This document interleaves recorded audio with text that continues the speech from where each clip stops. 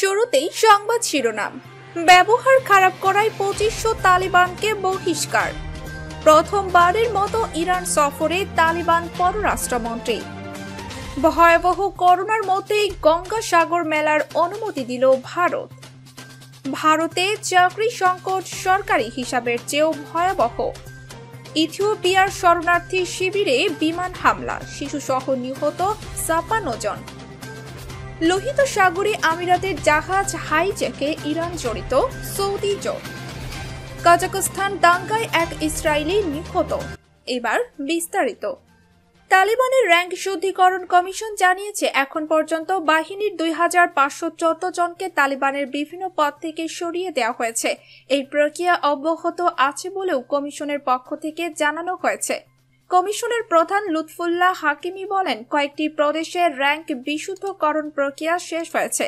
বাকি অঞ্চলেও দ্রুত কাজ চলছে। আফগানিস্তানের স্থানীয় গণমাধ্যম খামা প্রেসের খবরে বলা হয়েছে দু হাজার একুশ সালের আগস্টে ক্ষমতা গ্রহণের পর তালিবান শুদ্ধি কমিশন গঠন করে। খামা প্রেসের খবর অনুসারে আফগানিস্তানের নতুন শাসক দল তালিবানের এই কমিশন সাধারণ মানুষদের সঙ্গে দুর্ব্যবহারকারী আইএস খোরাসান শাখার সঙ্গে সম্পৃক্ত এবং তালিবানের নাম ব্যবহার করে অবৈধ কর্মকাণ্ডে জড়িতের শনাক্ত ও দোষীদের বিরুদ্ধে শাস্তিমূলক ব্যবস্থা গ্রহণের কাজ করছে। খামা প্রেসের খবর অনুসারে আফগানিস্তানের নতুন শাসক দল তালিবানের এই কমিশন সাধারণ মানুষদের সঙ্গে দুর্ব্যবহারকারী আইএস খোরাসান শাখার সঙ্গে সম্পৃক্ত এবং তালিবানের নাম ব্যবহার করে অবৈধ কর্মকাণ্ডে জড়িতের শনাক্ত ও দোষীদের বিরুদ্ধে শাস্তিমূলক ব্যবস্থা গ্রহণের কাজ করছে। কমিশনের প্রধান লুৎফুল্লাহ হাকিমি বলেন, সাধারণ জনগণের কাছ থেকে প্রাপ্ত অভিযোগ ও তথ্য গণমাধ্যম সামাজিক যোগাযোগ মাধ্যমে প্রাপ্ত তথ্যের ভিত্তিতে তারা দোষীদের চিহ্নিতকরণের কাজ করছেন।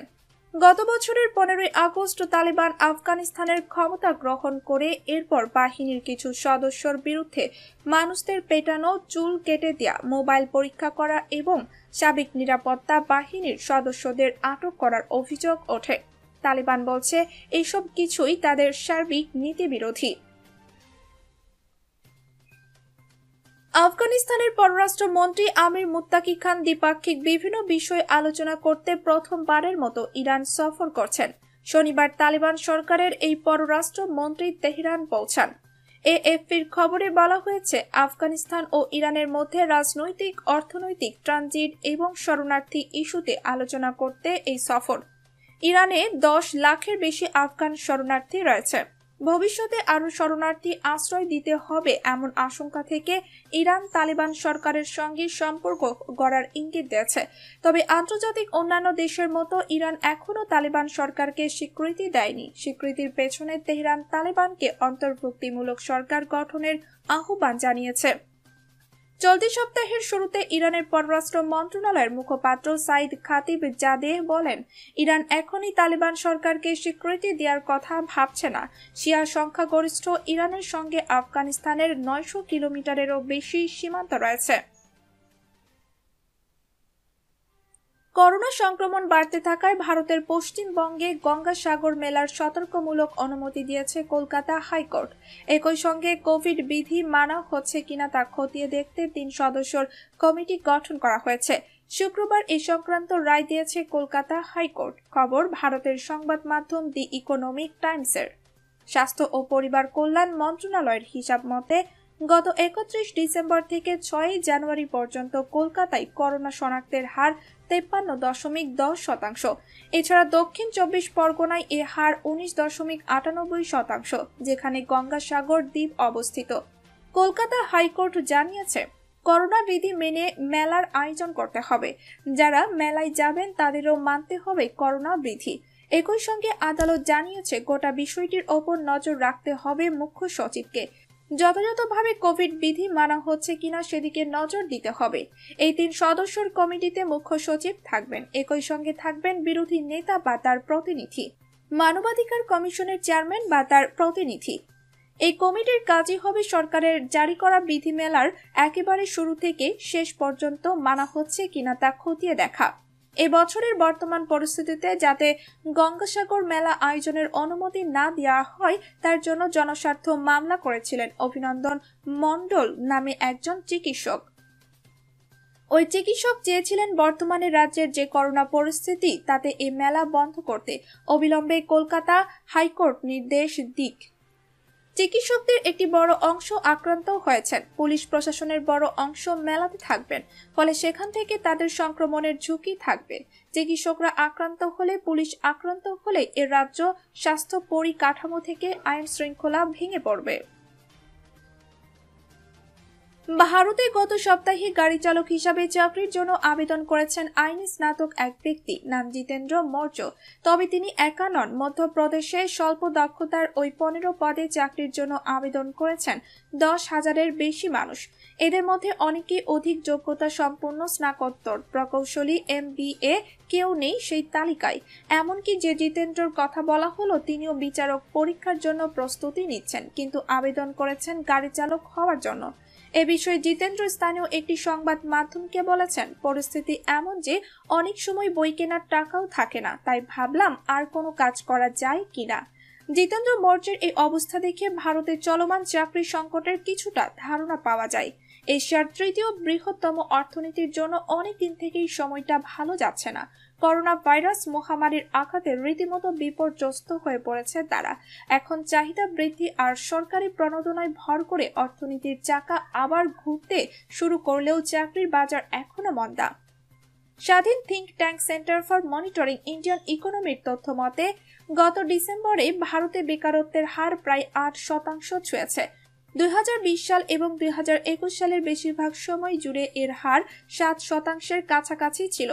বিশ্ব ব্যাংকের সাবেক প্রধান অর্থনীতিবিদ কৌশিক বসু বলেন, অন্তত গত তিন দশকে ভারতে এমন কিছু দেখা যায়নি। এমনকি উনিশশো একানব্বই সালের বিশাল অর্থনৈতিক সংকটের মধ্যেও নয় সরকারের হাতে আমদানি ব্যয় মেটানোর জন্য পর্যাপ্ত ডলারও ছিল না। ইথিওপিয়ার তাইগ্রে অঞ্চলের একটি শরণার্থী শিবিরে বিমান হামলায় শিশু সহ ছাপ্পান্ন জন নিহত হয়েছেন। এই সময় আহত হয়েছেন অন্তত তিরিশ জন। স্থানীয় সময় শনিবার তাইগ্রের উত্তরাঞ্চলে এই ঘটনা ঘটে। স্থানীয় কর্তৃপক্ষ ও প্রত্যক্ষদর্শীদের বরাদ দিয়ে ত্রাণ সংস্থার দুই কর্মী এ তথ্য জানিয়েছেন। খবর দি গার্ডিয়ানের। এ বিষয়ে তাইগ্রে পিপলস লিবারেশন ফ্রন্টের মুখপাত্র গেটা চেউ রেডাও এক টুইট বার্তায় জানান, তারা কেন্দ্রীয় সরকারের সঙ্গে যুদ্ধ করছেন।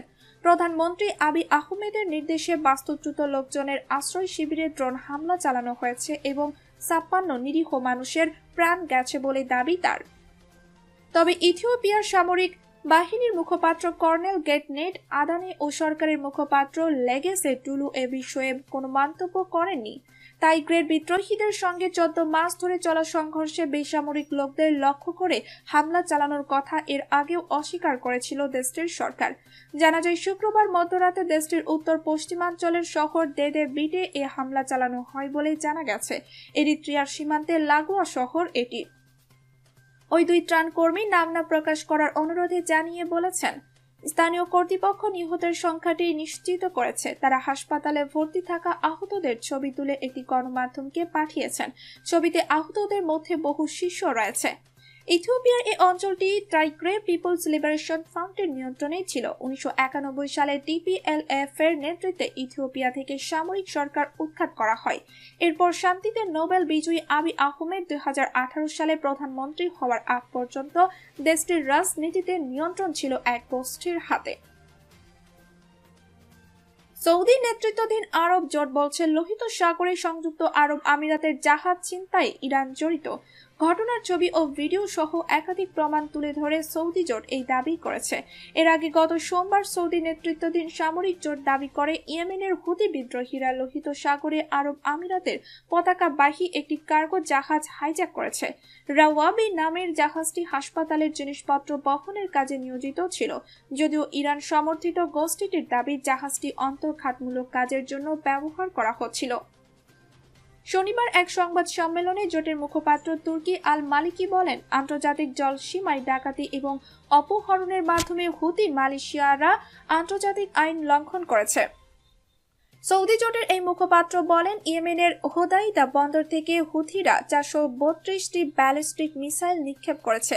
এছাড়া লোহিত সাগরে চলাচলকারী জাহাজে আক্রমণের জন্য একশোটিরও বেশি বুবিপাত ব্যবহার করেছে। সংবাদ সম্মেলনে সৌদি জোট আরও জানায় হুতি মিলিশিয়ারা আন্তর্জাতিক জল সীমায় আমিরাতের পতাকাবাহী রাওয়াবি জাহাজে আক্রমণ করে। তাদের দাবি, জাহাজটি সোকাট্টা দ্বীপে ঘূর্ণিঝড়ে ক্ষতিগ্রস্তদের জন্য সাহায্য বহন করছিল। আরব কোয়ালিশন একটি ভিডিও উপস্থাপন করে বলেন, হুতিরা লোহিত সাগরের দক্ষিণে তেল ট্যাঙ্কার রাগিব তিনে আক্রমণ করে। হুতিরা লোহিত সাগরের দক্ষিণে তেল ট্যাঙ্কার রাবিক তিনে আক্রমণ করে। একই সঙ্গে লোহিত সাগরের সৌদি তেল ট্যাঙ্কার কেউ টার্গেট করে।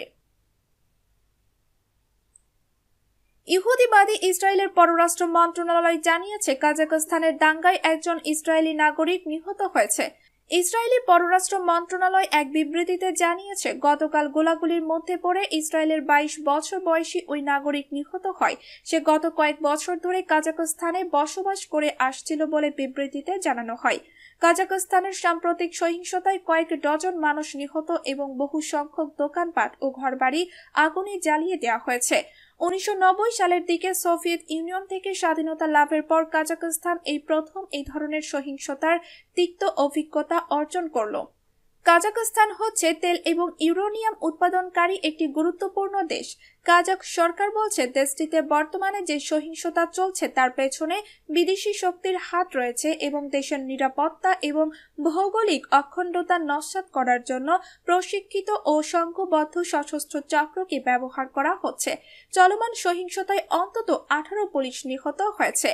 মধ্য এশিয়ায় আজারবাইজানের মতো বিভিন্ন দেশে হস্তক্ষেপ করার ব্যাপারে ইহুদিবাদী ইসরায়েলের দীর্ঘ ইতিহাস রয়েছে। প্রিয় দর্শক, আজকের ভিডিওটি আপনাদের কাছে কেমন লেগেছে তা কমেন্ট করে জানিয়ে দিন। ভিডিওটি ভালো লাগলে লাইক, কমেন্ট এবং শেয়ার করুন। ধন্যবাদ।